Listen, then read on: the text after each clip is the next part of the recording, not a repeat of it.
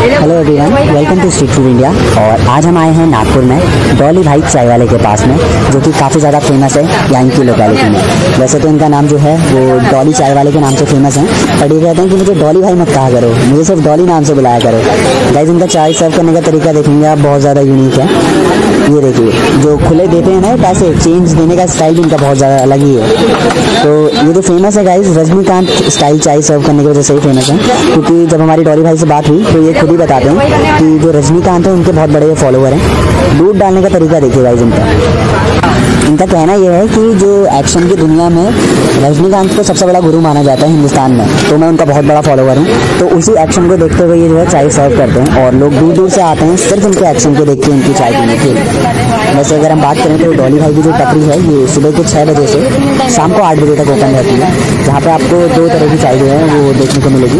एक जो है सात रुपये वाली चाय है जो कांच के ग्लास में सर्व करते हैं, और ये थोड़ी ज़्यादा बड़ी होती है। और वहीं पर जो हमारी दूसरी है, वो छोटी चाय मतलब एक कटिंग आप कह सकते हो, उसको ये सर्व करते हैं पाँच रुपये गिलास में। और कई बार तो डॉली भाई ने बताया कि कई लोग आते हैं चाय पीने के लिए, उनके पास पैसे वगैरह भी नहीं होते तो ये उनसे पैसे भी नहीं लेते हैं, ऐसे ही उनको चाय पिला देते हैं। तो गाइज़ ये जो नागपुर के सेलिब्रिटी चाय वाले हैं और रजनीकांत स्टाइल की जो चाय सर्व करने के लिए फ़ेमस हैं डॉली भाई तो इनका जो स्टॉल है या फिर आप कहेंगे इनकी जो टपरी है, ये आपको हफ़्ते के सातों दिन खुली मिलने वाली है। मतलब आप किसी भी दिन जाएँगे तो सुबह के, सुबह से शाम तक टाइमिंग मैंने आपको बता दी तो ये खुली रहने वाली है। तो डॉली भाई के अलावा उनके बड़े भाई भी हैं, जो उनके साथ ये चाय बनाने में क्या है, मदद करते हैं। जब मैंने डॉली भाई से बोला कि आप इतने ज़्यादा फ़ेमस हो, इसके बारे में थोड़ा मैं बताओ।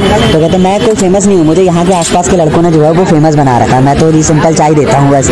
मतलब यही जो उनकी एक, आप कह सकते हैं, बात करने का तरीका है, क्या पता यही जो है कहीं ना कहीं जो है इनके ग्राहकों को पसंद आता है बहुत ज़्यादा। तो लोग मतलब हमने आसपास में ही पता किया तो लोग बहुत पसंद करते हैं इनके चाय देने के तरीके को या फिर इनका बात करने का नेचर हो।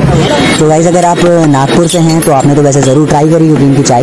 बट अगर आप नागपुर से नहीं हैं, कभी मौका मिलता है भविष्य में नागपुर जाने का तो ज़रूर से ज़रूर एक बार डॉली भाई से मिलकर ज़रूर आइए भाई कई बार इनकी चाय का टेस्ट जो है, सिर्फ़ इनका बात करने का तरीका ही बढ़ा देता है। तो आपको कैसा लगा ये हमारा वीडियो ज़रूर से ज़रूर कॉमेंट सेक्शन में बताइए। और अगर फ़र्स्ट टाइम चैनल पर आए हैं तो ज़रूर से ज़रूर सब्सक्राइब कर लीजिए और अपने फ्रेंड्स के साथ में शेयर भी कीजिए। थैंक यू भाई